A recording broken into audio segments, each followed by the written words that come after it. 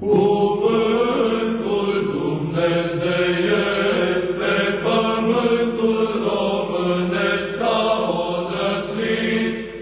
iar biserica străbună scutit s-a împodobit. Vrednici lucrători s-au